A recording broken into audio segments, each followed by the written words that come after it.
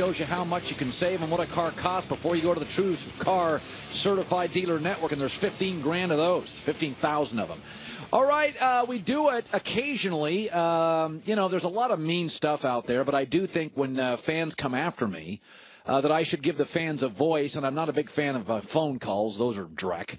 So occasionally I'll bring on some tweet where people crush me, and it gives me an opportunity to uh, defend myself. They're very hurtful. So here's another edition of Hurtful Tweets. Hey, Colin Cow, your hair sucks. Pick a color. Hurtful tweets.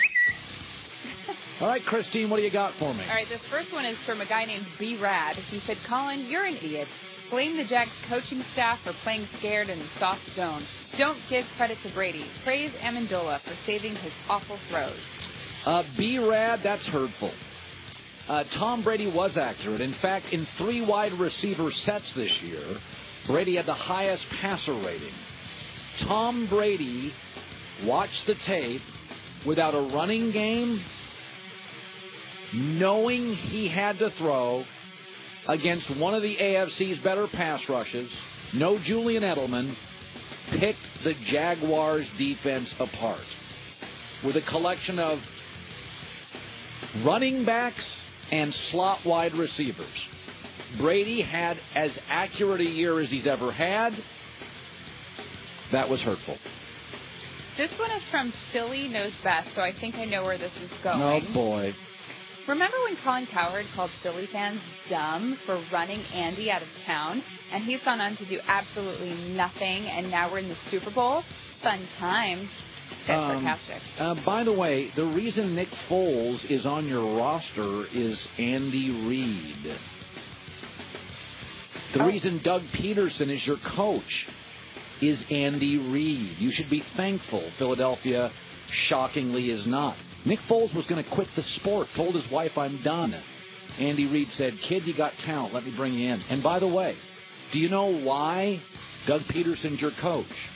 because Andy Reid got on the phone with Howie Roseman, one of the really smart guys in the NFL, the Eagles GM, and said, You're going to make a big mistake if you don't hire Doug Pederson.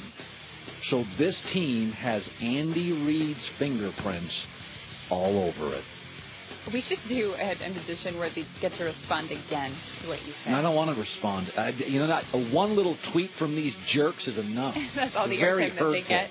Okay, the final one we have today is from Michael McCarthy, and this one is on LeBron uh, going home. He said, What are you even talking about today? LeBron brought the city of Cleveland a title. Yeah, huge mistake coming home, you clown. Colin Cowherd.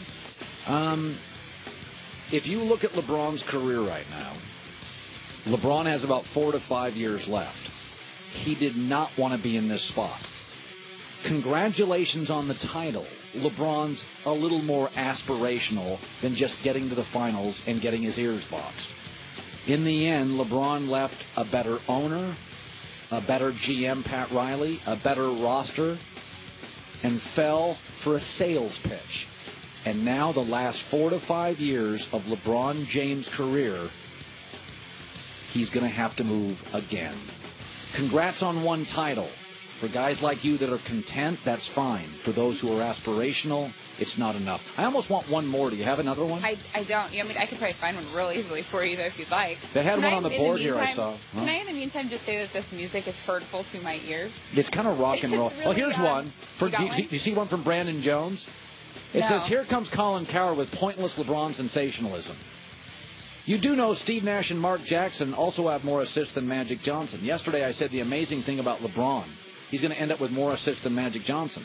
Uh, Brandon, the remarkable thing is Steve Nash, yes, and Mark Jackson, yes, had more assists. They played longer, and they were point guards that often played with elite shooters and scorers. The fact that LeBron, a power forward, whose first seven years in the NBA, his best teammate was Larry Hughes.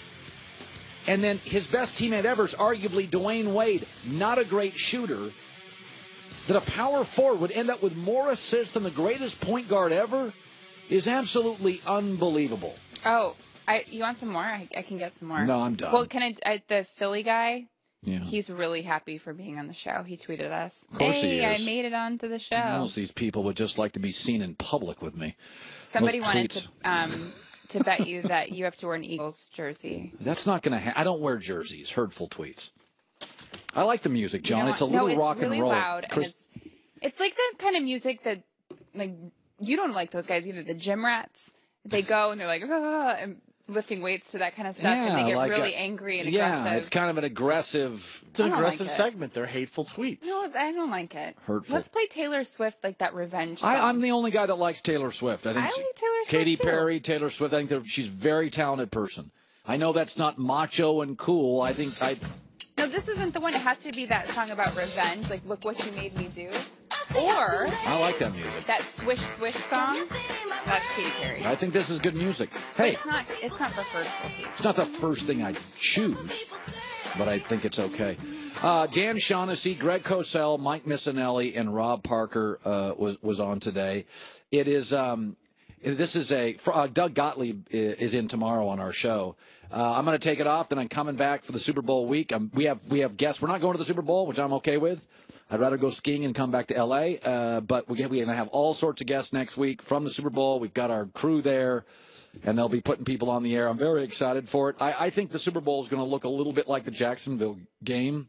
I think Philadelphia's offense is is a little better than Jacksonville's offense. I think the defenses are similar, except I do think Jacksonville's defense on the back end uh, is better. I think Jacksonville's secondary is really, really special.